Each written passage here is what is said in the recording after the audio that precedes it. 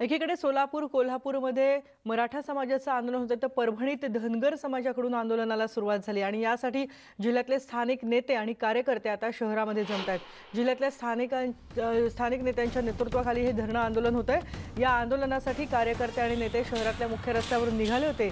त्यावेळी त्यांनी परभणीचं ग्रा परभणीच्या ग्रामदैवताचं दर्शन घेऊन सरकारला सुबुद्धी दे आणि आम्हाला आमच्या हक्काचं रक्षण मिळू दे अशा घोषणा दिल्या अशा प्रार्थना त्यांनी केल्या आपल्यासोबत आहेत आमचे प्रतिनिधी विशाल माने. विशाल एकीकडे मराठा समाजाचं आंदोलन सोलापूरमध्ये होतं आणि परभणीमध्ये आता धनगर समाज रस्त्यावर उतरलेला आहे. काय त्यांचं म्हणणं आहे आणि काय स्वरूप आहे या आंदोलनाचं? राज्यामध्ये आता मराठा आंदोलन लगजसे सक्रिय झालेत.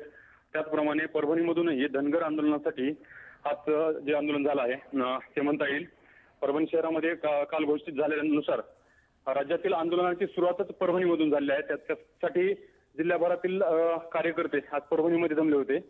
अं, जिल्हाधिकारी कार्यालयाकडे जाण्या अगोदर त्या कार्यकर्त्यांनी परभणीचं ग्रामदैवत खंडोबाचं दर्शन घेऊन त्या ठिकाणी घोषणा दिल्या. सरकारने अं, आम्हाला आरक्षण देण्याच्या संदर्भात चालढकल करू नये.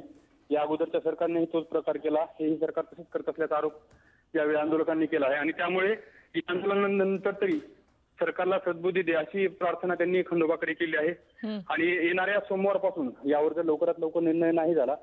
तर येणाऱ्या सोमवारपासून राज्यभरामध्ये या आंदोलनाची धग पोहोचवायचं अं, विधान इथे आलेले जमलेल्या नेत्यांनी केलं आहे. विशेष म्हणजे स्थानिकच्या नेत्या नेत्यांनीच या आंदोलनाचं नेतृत्व केलेलं आहे. परंतु राज्यामध्ये येणाऱ्या काळात परिस्थिती बिघडू शकते आणि वातावरण चिघळू शकतं असा इशारा यांनी सरकारला दिलेला आहे. त्यामुळे लवकरात लवकर आमच्या आंदोलनाचा सरकारने विचार करावा. असं त्यांचं म्हणणं आहे. धन्यवाद विशाल आणि या धनगर समाजाच्या आरक्षणाचं अपडेट्स आम्ही तुमच्या आर- आरक्षणाच्या आंदोलनाचे अपडेट्स आम्ही तुमच्याकडून घेत राहणार आहोत. परभणी बरोबरच उस्मानाबादमध्ये सुद्धा धनगर धनगर समाजानं एल्गार पुकारलाय. कारण तुळजा भव- भवानी मंदिरासमोर ज्योत पेटवून आरक्षणाच्या आंदोलनाला सुरुवात झाली आहे. जोपर्यंत आरक्षणाचा निर्णय होत नाही तोपर्यंत ज्योत पेटतीच ठेवणार असा निर्धार मल्हार आर्मीनं केलेला आहे. आजपासून राज्यभर हे आंदोलन केलं जाणार आहे. परभणीमध्ये आता धनगर जे कार्यकर्ते आहेत ते रस्त्यावर उतरलेले आहेत आणि त्याचबरोबर उस्मानाबादमध्ये सुद्धा आता चांगलेच आक्रमक झालेले दिसत आहेत. हे सगळे धनगर समाजाचे कार्यकर्ते आपल्यासोबत आहेत आमचे प्रतिनिधी बालाजी निरफळ. बालाजी काय नेमकं या सगळ्यांचं म्हणणं आहे? कशा स्वरूपाचं आंदोलन होणार आहे? कोण कोण सहभागी झालेले आहेत या आंदोलनात? तितके एकूण जर बघितलं तर मराठा समाजावर धनगर समाज सुद्धा आरक्षणाच्या मुद्द्याला घेऊन आता रस्त्यावर उतरलाय. मल्हार सेनेचे प्रमुख जे सुरेश कांबळे म्हणून आहेत सुरेश कांबळेच्या नेतृत्वाखाली आज तुळजा भवानीच्या चरणी संबळ वाजून हे आंदोलन करण्यात आलं. भंडारा देखील धनगर समाजाच्या कार्यकर्त्यांनी उधळलेलं आहे.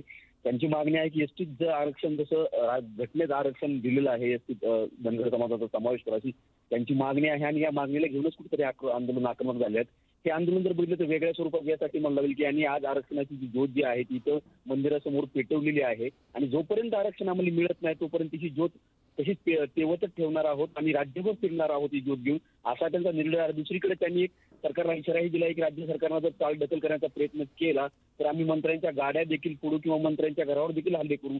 अशा प्रकारचा एक कडक इशारा सुद्धा यावेळी मल्हार सेनेच्या वतीने सुरेश कांबळे यांनी दिलेला आहे. त्यामुळे निश्चितच धनगर समाजाचा जर मुद्दा आरक्षणाचा पेटला तर राज्य सरकारसमोर देखील अडचणी वाढणार आहेत. मात्र याकडे आता राज्य सरकार कुठल्या पद्धतीनं तोडगा काढण्याचा प्रयत्न करतं हे पाहावं लागणार. मात्र इथून पुढच्या कालावधीत आम्ही आंदोलन हे आमच्या पद्धतीनं करू असा इशारा सुद्धा मल्हार सेनेने दिलेला आहे. त्यामुळे या आरक्षणाकडे आता राज्य सरकारनं निश्चितच गंध घेण्याची सुद्धा गरज कुठेतरी निर्माण झालेली आहे. केतकी धन्यवाद बालाजी या माहितीबद्दल.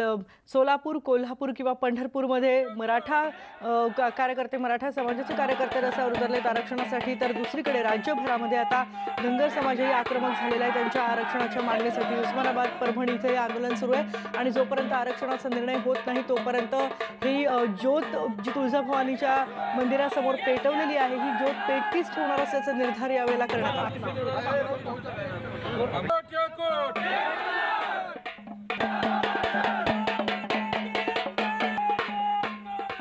आणि मनसेनं या आज आंदोलन केलेलं आहे मुंबईमध्ये. लोकल आंदोलन केलंय. सविनय कायदेभंग असं त्यांनी नाव दिलं होतं. या आंदोलनाच्या घडामोडी बघूयात.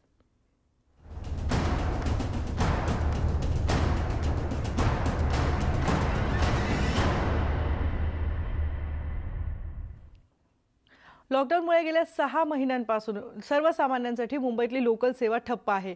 सर्वसामान्यांसाठी लोकल सेवा सुरू करावी या मागणीसाठी मनसेनं सविनय आंदोलन पुकारले. याचेच पडसाद ठाणे नवी मुंबई आणि कल्याणमध्येही दिसून आले. ठाण्यामध्ये मनसेचे नेते आणि ठाणे पालघरचे मनसे जिल्हाध्यक्ष अविनाश जाधव आणि कार्यकर्ते हे ठाणे स्टेशनवर जेव्हा दाखल झाले तेव्हा त्यांना पक तेव्हा त्यांना ताब्यात घेण्यात आलं. नंतर त्यांची सुटकाही करण्यात आली. तर नवी मुंबईतल्या ऐरोली तसंच रबाळे रेल्वे स्थानकावरही मनसेनं आंदोलन केले. कल्याणमध्ये मनसे स्थानका मनसे कार्यकर्त्यांनी रेल्वे स्थानकात घुसण्याचा प्रयत्न केला. अर्थातच या सगळ्या ठिकाणी कडेकोट पोलीस बंदोबस्त ठेवण्यात आला होता. गांधीगिरी पद्धतीनं आम्ही आंदोलन करतोय असं मनसेचं म्हणणं होतं पण पोलिसांनी मात्र या मनसे कार्यकर्त्यांना का अनेक ठिकाणी स्टेशनच्या बाहेरच अडवलेलं आहे. तर अंबरनाथमध्ये रेल्वे स्थानकात घुसण्याचा प्रयत्न करणाऱ्या मनसे कार्यकर्त्यांची पोलिसांशी झटापट झाली. यावेळी अंबरनाथ आणि उल्हासनगरच्या मनसे कार्यकर्त्यांना पोलिसांनी ताब्यात घेत पोलीस स्टेशनला नेलंय. सर्वसामान्यांसाठी लोकल सुरू करण्याची मागणी करत राज्य सरकारच्या विरोधात घोषणाबाजीही करण्यात आली. सर्वसामान्य प्रवाशांसाठी रेल्वे सेवा सुरू करावी या मागणीसाठी मुंबईच्या उपनगरांमध्ये मनसेच्या वतीनं हे सविनय कायदेभंग आंदोलन करण्यात येत आहे पोलिसांनी परवानगी जर नाकारली असेल तरी पण आता आम्ही दिवसभरात प्रवास प्रवास करणार रेल्वेने. सर्व दडपशाही आहे सरकारची आणि सरकार हे आंदोलन दाबू पाहत आहे. हे जनतेसाठी आंदोलन आहे. सरकारसाठी हे नाही. सरकारने परवानगी द्यावी ना लोकांना जाण्याची. सरकार पोहोचणार आहे का लोकांना? अरे किती दिवस बंद ठेवणार? सहा महिने झालेत. हा? आणि सगळ्या बसेसमध्ये सामान्य लोक सगळ्या बसेसमध्ये सामान्य लोक दादा सगळे नॉर्मल आहे. लोकांनी असं असताना ट्रेनवरतीच कोरोना आहे का? भिवंडी इमारत दुर्घटनेमध्ये आत्तापर्यंत दहा जणांचा मृत्यू झालाय तर पंधरा जखमींना ढिगाऱ्याखालून बाहेर काढण्यात आले जखमींवर आयजीएम रुग्णालयात आता उपचार सुरू आहेत तर एका बाजूला ढिगाऱ्याखाली अडकलेल्यांना बाहेर काढण्याचं काम अजूनही सुरूच आहे. ठाणे जिल्ह्याचे पालकमंत्री एकनाथ शिंदे यांनी इथे आत्ता काही वेळापूर्वी जाऊन पाहणी केली. मृतांच्या नातेवाईकांना पाच लाखांची मदत करणार असल्याची घोषणा त्यांनी केली आहे. तसंच रुग्णालयात जाऊन जखमींची विचारपूसही त्यांनी केली. भिवंडीतील इमारत दुर्घटनेनंतर स्वतः पालकमंत्री एकनाथ शिंदे साहेब भिवंडीमध्ये दाखल झाले. त्यांनी पाहणी केली. आपण त्यांनाच विचारू काय सांगाल सर? अ, कशा पद्धतीने आपली यंत्रणा काम करते आणि किती वेळ लागतो? गिलानी वाडी गिलानी नावाची बिल्डिंग आत- या ठिकाणी भिवंडीमध्ये धोकादायक अवस्थेमध्ये पडलेली आहे. दुर्दैवी घटना झालेली आहे.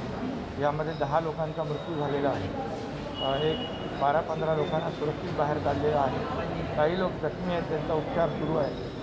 आणि काही लोक आणखी ढिगाऱ्याखाली अडकण्याची भीती त्या ठिकाणी स्थानिक लोक व्यक्त करत आहेत प्रशासन काम करतं आहे N D R F D D R F स्थानिक भिवंडीची टीम ही रेस्क्यू टीम सगळ्या कामाला लागलेल्या आहेत. अतिशय कंजेस्टेड एरिया तिथे आहे. मदत कार्य बचाव कार्य देखील करण्यामध्ये फार अडचणी येत आहेत. परंतु त्या परिस्थितीत देखील आपली जी टीम आहे रेस्क्यू टीम ती काम करते. अनेक लोकांना त्यांनी बाहेर काढलेलं आहे. आणखी सुरक्षितपणे बाहेर काढण्याचं काम सुरू आहे. आणि ते शासनावरती काय मदत वगैरे कशी मिळेल अ, मुख्यमंत्री महोदयांची माझी चर्चा झालेली आहे. यामध्ये एन डी आर एफ आणि मुख्यमंत्री सहायता निधी यामधून पाच लाख रुपये या मृतांच्या नातेवाईकांना देण्याचं शासन अ, नक्कीच त्यांच्या पाठीमागे शासन उभं आहे. आपण पाहू शकतो शिंदे साहेबांनी एक चांगल्या पद्धतीने क- काम सुरू आहे बचाव कार्य सुरू आहे आणि शासनाकडनं मुख्यमंत्री निधीकडनं एक पाच लाख रुपये देण्याचं जाहीर केलं आहे असं शिंदे साहेब यांनी माहिती दिलेली आहे. Ravi Shinde news eighteen Lokmat Bhiwandi.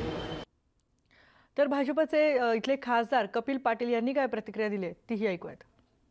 दरवर्षी पावसाळ्यामध्ये भिवंडी शहरामध्ये कुठे ना कुठे अशा प्रकारची इमारत कोसळून हादसा होत राहतो. म्हणून प्रशासनाला कडक धोरण स्वीकारणं गरजेचं आहे.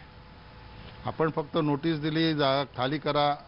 लोक खाली करत नाही. जबरदस्तीने लोकांना धोकादायक इमारतीमधून खाली जर आपण केलं तर निश्चितपणाने त्यांच्या जीवाशी जो हा खेळ सुरू आहे हा खेळ बंद होईल. आपण राजकारण करतो हे माझे मतदार आहेत आमच्या पाठीशी राहणार आहेत म्हणून यांना काढू नये अशा प्रकारचं राजकारण बाजूला ठेवून काम करण्याची आवश्यकता आहे.